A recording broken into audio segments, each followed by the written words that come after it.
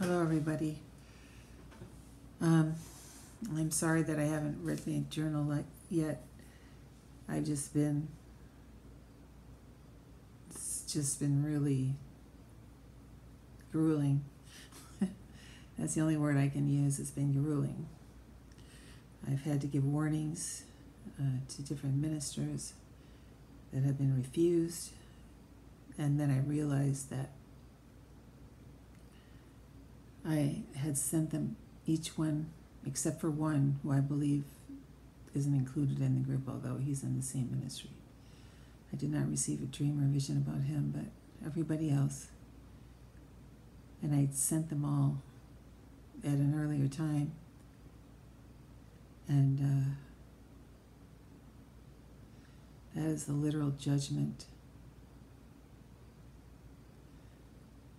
because they refused the warning.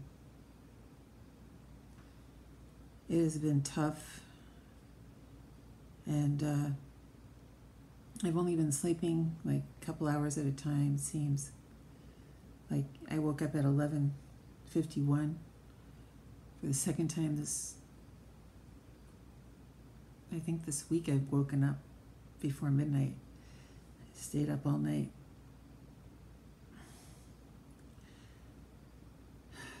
Anyway, so you could pray for me if you want.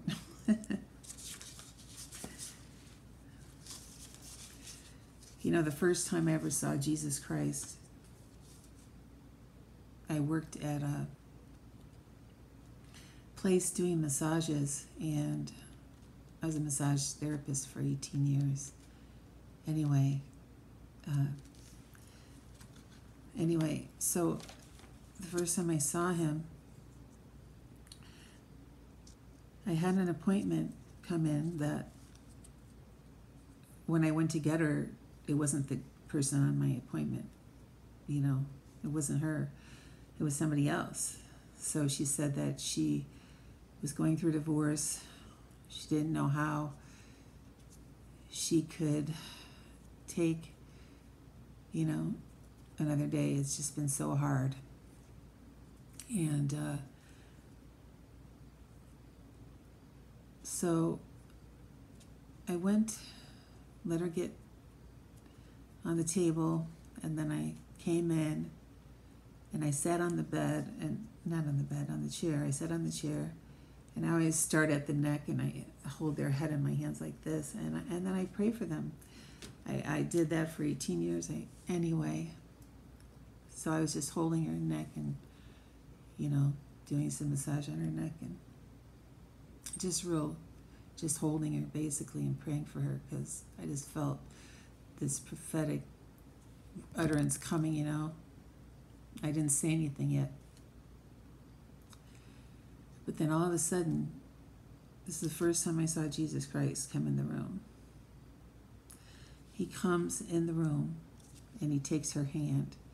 He, she's laying on her back and he takes her right hand and he gets on his knees and he begins to pray for her.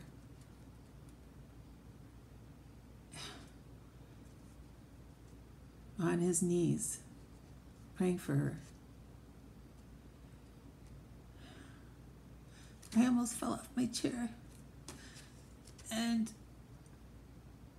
I told her, I said, Jesus is here. He's praying for you. He's, he's holding your hand. And then he stood up and he took a needle and a thread and he he sewed up her soul. She had two wounds in her soul. He sewed them up.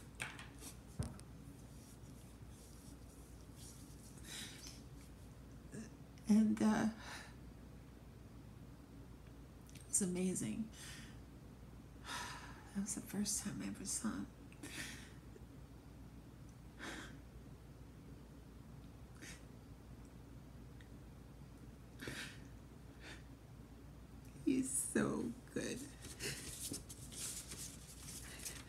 You know, he sends encouragement when you need it.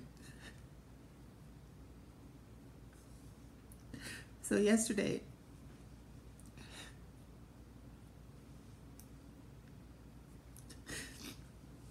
I got a birthday card in the mail. It was a day late, but it was from my brother in prison. You can see. He sent it on the 22nd and I received it on the 26th. And I want to show it to you because, look.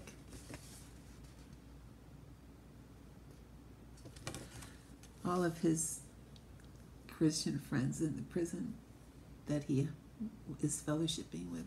He started a Bible study. They, they signed this card for me. I want to read it to you because it blessed me so much yesterday. So it says, Jiyada, may you be blessed, favored, comforted on your birthday. Yada,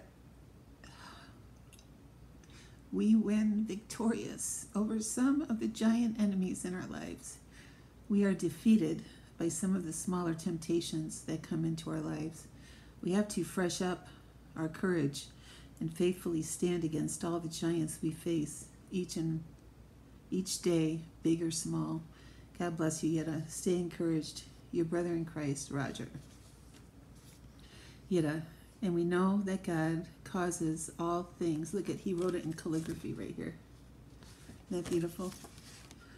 All things to work together for good to those who love God and are the called according to his purpose. Romans 8:28. Happy birthday. I can't really read his name. It says Sven's cellie. That means they room together. Yetta, uh, and this is from my brother. I hope and pray that this card blesses you.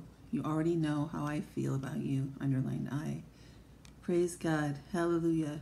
God is awesome and mighty and loves us with an everlasting love. Your little brother Sven. Your little bro Sven, as he said. Happy birthday. We won't be shaken. September 25th, 2019. Trust God. Today is all about you, so enjoy and have a great birthday. And here he wrote, You have turned for me my mourning into dancing. You have put off my sackcloth and clothed me with gladness. Psalms 30 11. And then he wrote me a letter. There's my letter. Yetta, September 22nd, 2019. My cellie was in the Army Special Forces. He said there is something called a QRF, Quick Reaction Force. That's what we are. I'm sending this stamp with a Medal of Honor for you. This is it. Medal of Honor for you. With QRF, whoops, QRF written on the back. Let it be a symbol of my appreciation to you of your unconditional love and lasting, unwavering faithfulness. Hold it close to your heart and know that I am always with you in truth and spirit. May God richly bless you and uphold you with his everlasting love and gentle mercy. Keep on fighting the good fight. You have taught me much, and I love you for that. You are one of God's priceless treasures. With much love, your brother Sven. And then he puts all of his names down. And I'll read you the meaning of his name. I'll do that. Because he also called me. I don't know if it was on my birthday. I think it was the day before. It was on the day before. It was on the day before. Okay, he said Ephesians 6 10 through 20. That's putting on the armor of God. Oh my gosh, wait a second. He wrote this on September 22nd. He wrote this on September 22nd, see? Look at this. Look at this. This is so cool. See? He called me on September 24th. He called me in the morning, we talked. And he called me back in the afternoon. He says, Yada, I'm leaving this place. I'm I'm moving tomorrow. So on my birthday he moved to a different it's the last stop before he's released after 23 years. 20 more weeks. Well, when he called me in the afternoon, the Lord gave me a vision. I'm going to read it to you. It says, Sven called today. I had a vision. I saw you, Sven, standing, and you had this shield. I was telling him as I had the vision over the phone, but I wrote it down and I wanted to send it to him so he could keep it. I saw you, Sven, standing, and you had this shield. It went from your nose down to below your waist. It was silver, like a half inch thick, and I knew it was really heavy. It was black in the front, but I could see already you have deflected many deadly arrows because of because the silver was showing through. In your right hand, you held a javelin. It was a stake in the ground as you stood there. Then I saw you have these shoes on that are thin suede, kind of like Robin Hood in the movie. Okay, this is funny, but that day I was wearing these shoes. Look. These shoes, I had those on, but shoes in, in the vision were like taller, a little taller, and you know, they fit like a glove on his foot. Okay. It was a stake in the ground as you stood there. Then I saw you have these shoes on that are thin suede, kind of like Robin Hood in the movie. And it's funny that God used Robin Hood because Sven was in there for, you know, robbery and stealing and things. So kind of like Robin Hood in the movie, the top of them were six to eight inches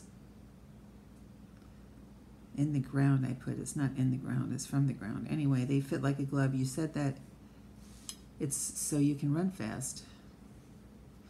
And then I realized to throw a javelin, you have to be running. And then I saw you had a leather string tied around your waist, made from suede as well. Like this string, see the string? The string around his waist was made of this. And it looked like there was a pouch on one side, and I didn't know if there was anything in it. And then I zoomed in, just like in the vision, you zoom in, and I could tell he also had a belt on. Okay, so he's wearing the belt of truth. And then when I zoomed in, I saw you also had on a belt. So the re- revelation came this is a slingshot. That was a slingshot around his waist. And on your head was a, a laurel. Uh, it's like a crown. But at first I thought it was flowers, but then when it was on his head, it was a real thin gold kind of a crown. And uh, it was an awesome vision, Sven. Okay, now I'm going to tell you the meaning of his name. Sven means young warrior. We just found that out together. And then his middle name name means ahead, and he's got two middle names because my dad wanted to give him two middle names for some reason. Okay, we all have one of these middle names, and it means Twigs, and my nickname as a kid was Twiggy. So, okay, it was an awesome vision. Sven, young warrior. A his middle second name is ahead. His next name is Twigs, Scrub, or Brushwood, and then the last name, our last name, means hailing through the woods. That means you're hauling something through the woods. That's so amazing. Okay, this vision was confirmed today. Um, it was the same day that I had the vision on the 24th, which was my granddaughter's and my son's birthday. They share a birthday together. They were both born, the, well, David was born the day before my 30th birthday, and my granddaughter was born on, on David's birthday when he was 29. Okay, so David David called, and David was the one that slew Goliath with a slingshot, right? And then Ingrid called me. It was her birthday. I had texted her in the morning, and she, they were going to call me at night because they were busy all day. And when she called me, she had this small cardboard crown that they had made for her for her birthday. And she said, Grandma, look at my crown. And she put a crown on her head. Oh, it's so sweet.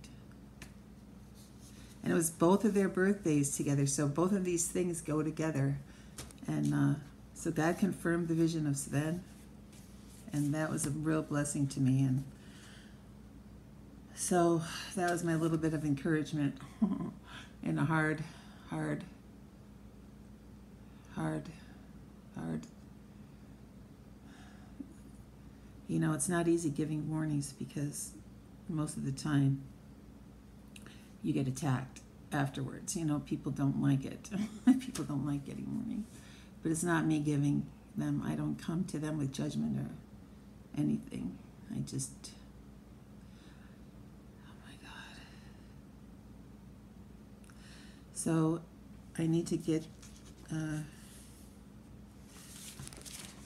back to what we were doing. I'm going to stop this video. I just wanted to um, I don't know. I'm blabbering, I guess, but uh, I'll just title this one Another Message for My Brother, and then I'll start reading the journal again. Just remember that when I read the journals, I'm presenting evidence. It's going to be like we're in a courtroom, okay? These are the words from the Lord. I'm going to just present them all to you.